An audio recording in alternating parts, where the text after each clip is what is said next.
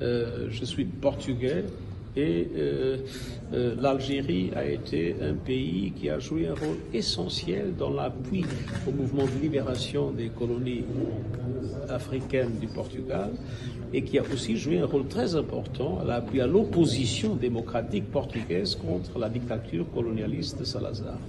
Alors, euh, être ici est pour moi une occasion d'exprimer toute ma gratitude euh, et toute ma solidarité avec l'Algérie, le peuple algérien. Merci beaucoup.